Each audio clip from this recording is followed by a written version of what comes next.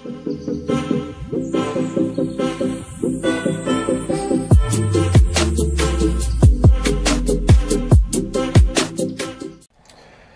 ora everyone, my name's Zach. I love rugby. Welcome back to Haka Time Rugby. Now, today we're doing a very detailed preview of the upcoming Super Rugby season, and I'm joined by Melbourne Rebels hooker Anaru Rangi. Kia ora, bro. Kia ora, bro.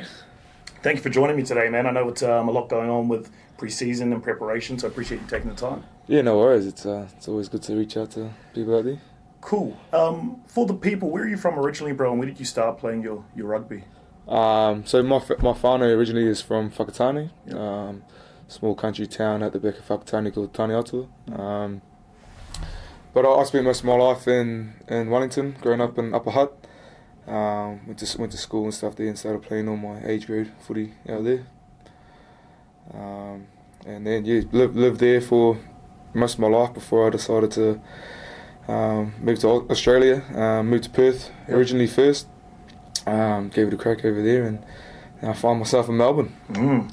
And it looks like you've, uh, what have you been here a couple of years now, 2018 2019 season, Yep. um, and a couple of good years by the looks of it too. So, Players Player Award 2018, uh, Members Choice Award 2019, rewarded with an extension, bro. So it's gone pretty well here for you. Yeah, definitely. Um, the, the the move was good for me. Um, I sort of didn't know many people in Melbourne, so it, it really gave me an opportunity to to focus in hard on my my footy, and um, sort of managed to get a few of the benefits of, from that the last two seasons. Yep. Feeling like home now, Melbourne? Oh, it's just about as cold. um, yeah, no, it's a it's a good spot. It's an awesome city. Um, there's always plenty to do. Um, and yeah, yeah, no, it's a good spot to be. Awesome.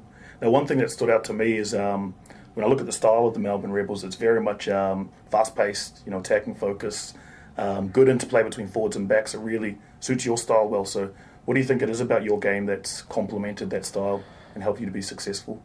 Um, yeah, like like you say, it's um, it's all the all the sort of same sort of footy I grew up with. Mm. Um, New Zealand like to they like to be fast and, and skillful and physical there. So, um, yeah, Melbourne and the style we play there was was a pretty much a perfect match for me. Um, yeah. just just like to try, try and get stuck in and, and make things fast and yeah, it's, no, it's been good. Cool. And in terms of the preseason, this this part of the preseason, bro, and the preparation, what's really the focus? I know it's quite early Mm. um, from that side. So, what's the focus pre-Christmas for yourself and for the team?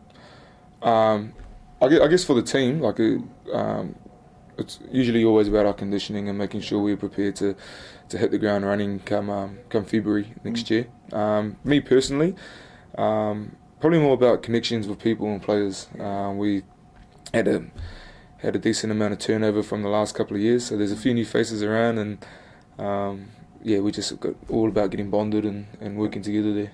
Yeah, on that, bro, it's one one talking point that comes up a lot on my channel around the Super Rugby season. It's it's that usual cycle after World Cup where you see players um, either in exodus or pe- people moving on. Um, all teams are affected. Yep. You know, uh, Melbourne Rebels in particular, so Will Genia, um, Quade Cooper, not with the not with the squad this year. How do you um, deal with the loss of that experience and leadership? And is there, I mean, is there any way to plug those kinds of gaps? Or Um, yeah, like, like obviously those guys leave um, big holes in experience and, and leadership and stuff like that. But some of the more exciting stuff is seeing who's going to fill the fill the spots. Um, it's good to see some of the younger guys who who are now having to fill those roles, and then we're not looking at them like the younger guys anymore. We're looking at them as the, the guys that are going to lead us um, and moving forward. So. While while it's um it can be a bit tough losing a bit of experience and uh, and leadership there, it's also very exciting to see these young guys come through and, and put their hands up. Any uh, any names in particular to look out for, or that are impressing you at this stage in the in the gym or on the paddock?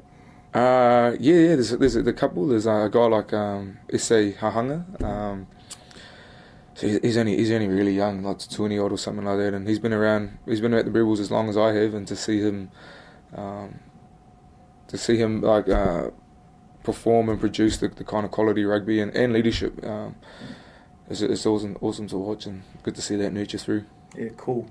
Um, I'll touch now on the Australian conference and some of the big, I guess, talking points there. So, obviously, first game against the Sunwolves. Um, and Japan in particular running on a high at the moment. I mean, they were awesome in the World Cup. So, did you uh, you catch them and did you what did you think about their play? Oh yeah, J- Japan was awesome in the in the uh, World Cup. There, I think um, they kind of won the hearts of, of most of the world, most of the rugby world out there. Um, they were just just the passion and the pride they, they put into themselves and their, their rugby performances was um was really really inspiring. Um, yeah, moving moving forward to the Sunwolves for us in, in round one. Um, if, if the World Cup's anything to go by, we're going to really be on our toes. They are they are becoming a very much a, a superpower in, in world rugby. Um, yeah. Yeah, no, they definitely became everyone's second favourite team, I think, as part of the Yeah, World definitely, Cup. And, yep. And, you know, some interesting talking points. I mean, there's talk about whether or not they'll be here in future years. Obviously, they retain Jamie Joseph, Tony Brown, so that's good for their continuity. Mhm. Um, have you managed to have a look at their squad, and what are you expecting, I guess, come that first round from them? Ah, not not so much actually. Just just because it's it's quite early in our preseason and our um, our preparations anyway. We um, really focused on, on what we what we have to bring, and um, but un- undoubtedly, like if we're away from the names and, and what they have in their team, their style is going to be, Yeah. I reckon, pretty much the same as um, as what they produced in the World Cup for Japan. So Mm. really going to have to be on the ball there. They're very quick. They're very ac- accurate. Yeah. Um, and they don't they make very few mistakes. So we're going to have to be going to be on the ball there. Um, and then, you know, one thing I love about the, the conference model, New Zealand, Australia, or South Africa, it's those local derbies and those local rivalries, you know. So, who's that team you think for the Rebels inside the Australian conference? Not necessarily rivalry, but that team you look forward to, maybe put in that little bit of extra Mm. motivation. Who's that team you think for the Rebels? Oh, yeah, like the, all those derby games mean mean quite a lot to us. Um, especially when you're playing each other within Australia. There, uh, probably my personal favourite is the Reds. Um, Yeah. They always put up a, a fairly good challenge. Um, the last couple of years, they've, they've had a few young guys coming through, and um, they're just keen to get stuck in. And the, the Yeah. passion to play rugby, um, while it might not be so polished or or uh, perfect in what they're doing, they're just really keen on having a crack. So you can see the love, love and the passion in them, and uh, they, they're really good to get stuck into. Yeah. And you personally, bro, are there any players you look at and go, yeah, I'm, I'm up for this one. I'm looking forward to that battle, or you respect, or uh, you know, looking forward to those those competitions? Um, yeah, like the, it's always it's always the same uh, throughout throughout most teams you play. Um, like for me, growing up, Super Rugby was always a dream, and, and now it's reality. So, um, pretty much anyone I come up against, it- it's it's an unreal experience, and um, I still pinch myself most days that I get to come in and do this for a job every day. Um, I think last year was the first time I played uh, the Wellington Hurricanes in in Wellington. Um, with quite a bit of my family and stuff there, and that was that was a pretty unreal experience. Um, Yeah. Matching up against the likes of Ardie Savea and stuff like that, like he's yeah, he's in my opinion the best player in the world at the minute. So that was that was a pretty cool and pretty special feeling. Yeah. Mm. Awesome.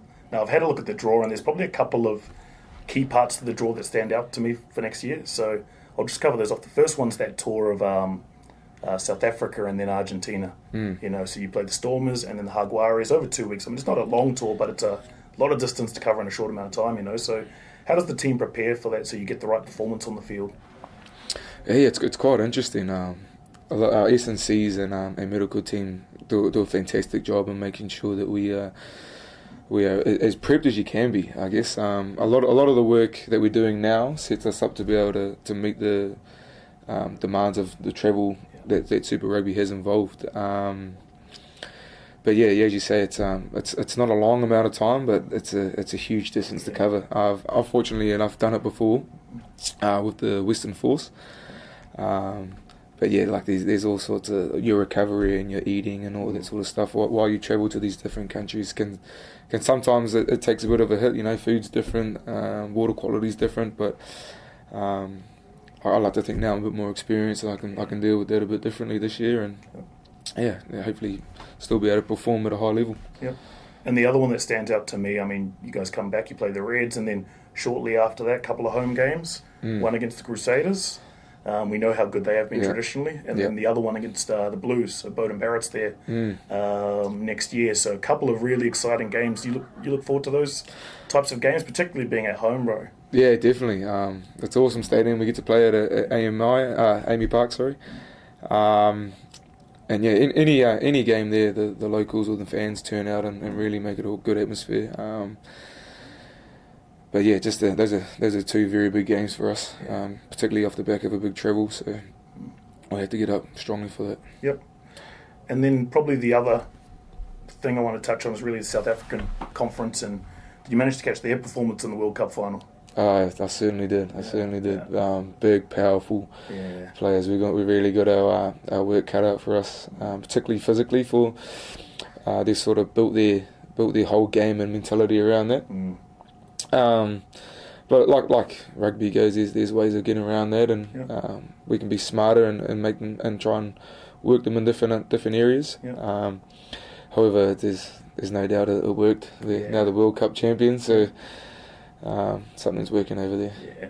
And then you probably expect that to filter down into the franchises as well. That, that forward dominated game, very much set piece orientated, physical play. Mm. Um, has that been your experience with South African teams? Are you Yeah. expecting more of that? Yeah, it's, it's nothing up. new. It's nothing Yeah. new to the South African teams. They they love to try and impose themselves physically on you. Um, so it's, it's always a massive challenge when you get out there. If you if you're not up for it and you've got your mind in the right spot there, you you're going to be in for a tough ride. So um, a lot of that sort of stuff is attitudinal, and you just got to get stuck in. It's the the game's often won in the first sort of five five to fifteen minutes when, when uh, you can sort of work out who's who's on and who's not. Yeah, no, we, we talk a lot about strategy and tactics on the channel, and um, and when we were having a good look at that game, there's certain areas where you think, well, you've just got to be up for the battle. You Mm. know, I mean, you can try and run them around, but the, you know, when it comes to scrum time, when it comes to line out, you've really got to compete. You know, bite down on that mouth guard, and sometimes just have a crack. Is that um, you know, do you see any other ways to really target that kind of strategy, or is a